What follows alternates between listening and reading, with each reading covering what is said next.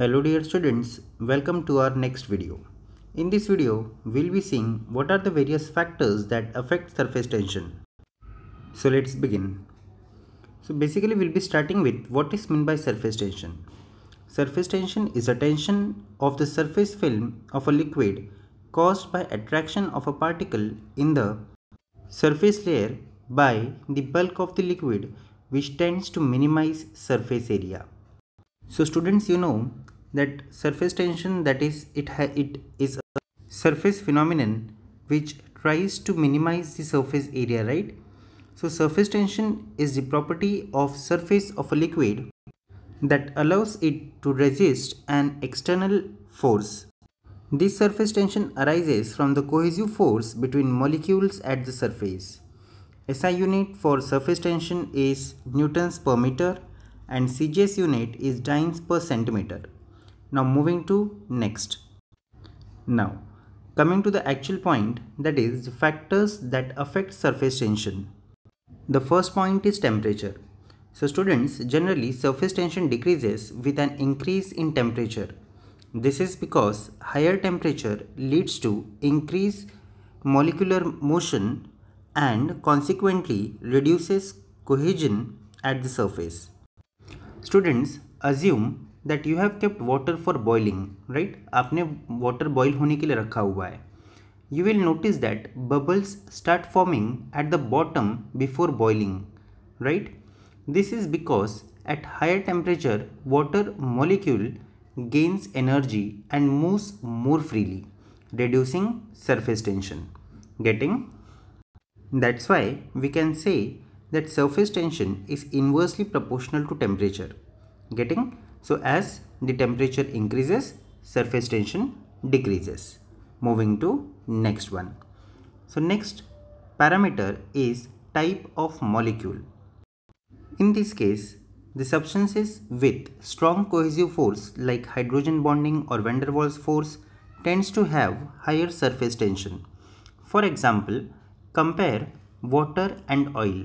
Water molecules are more cohesive due to hydrogen bonding, right? Leading to higher surface tension. Whereas in case of oil, uh, the molecular force is weaker, right? That is they have a intermolecular force which is comparatively weak resulting into lower surface tension. Okay. Moving to the third factor affecting surface tension. So the next factor is impurities. So students, surface tension can be affected by the presence of impurities in the liquid. In many cases, impurities can disrupt the cohesive force between the molecules leading to a decrease in surface tension.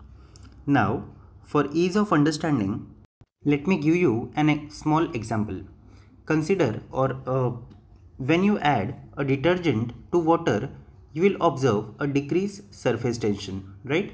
So this detergent molecule, they disrupt the cohesive force between water molecules at the surface, reducing surface tension. Here, your detergent is nothing but impurity, right? So when there is impurity, it may reduce surface tension. Then moving to the next factor. So next factor affecting surface tension is concentration of solute. The addition of solute to a liquid can impact surface tension. For example, adding certain surfactants that is surface active agents can reduce surface tension. Surfactants have molecules with hydrophilic that is water attracting and hydrophobic that is water repelling part which can disrupt the cohesive force at the surface. So students another example for concentration of solute is consider dissolving salt in water right. So when you dissolve salt in water it influences surface tension. As you increase the concentration of salt the surface tension of water decreases because salt molecules interfere with the cohesive force between water molecules getting therefore uh, concentration of solute is also an important factor which affects surface tension. Moving to next point. So next point is pressure. Change in pressure can affect surface tension. Although the effect is often small, an increase in pressure generally causes a slight increase in surface tension while a decrease in pressure can lead to decrease in surface tension. Students, consider a water droplet on a surface, right?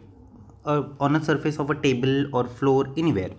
If you gently press the droplet with your fingertip, you will notice the droplet flattening, right? You will observe that whatever the droplet is there, that is flattening.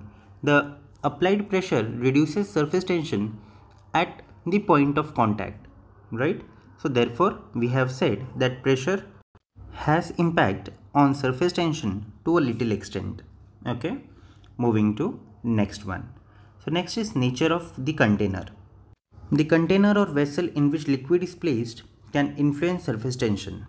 For example, a liquid in a capillary tube may exhibit a different surface tension when the same liquid is placed in a wider container, right? So you have already observed this during your practicals, right? So the surface tension that is been exhibited during, uh, I mean the one which is in capillary tube and the one which is in a wider container like that of your beaker is comparatively different. Therefore, the container also plays a role in surface tension. Moving to the next one. So the next parameter is molecular size. The size of molecule in liquid can influence surface tension. Large molecules may experience weaker cohesive force leading to lower surface tension. That is, surface tension is inversely proportional to molecular size. Students, compare surface tension of water and the heavy liquid like mercury. Mercury has a larger molecules resulting in weaker cohesive force and lower surface tension that too uh, when it is compared to water right therefore it is said that inverse relation exists between molecular size and surface tension. Moving to the next factor. So next factor is pH of the solution. Change in pH can alter the ionization state of molecule at the surface ultimately influencing surface tension.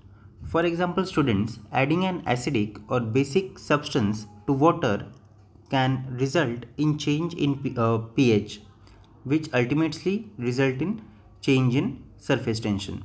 For example, by adding an acid like vinegar, you will observe that there is decrease in surface tension whereas when you add baking soda to that of water, you will observe that there is increase in surface tension.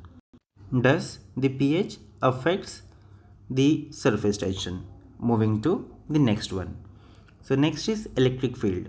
The electric field can influence the distribution of charges at surface affecting the surface tension of the liquid. For example, place a charged object near water droplet. The electric field from the charged object can affect the orientation of water molecule at the surface altering the surface tension. Getting? Therefore, electric field also affects the surface tension. So that's all students. I hope you have understood the various factors that affect surface tension. Thank you.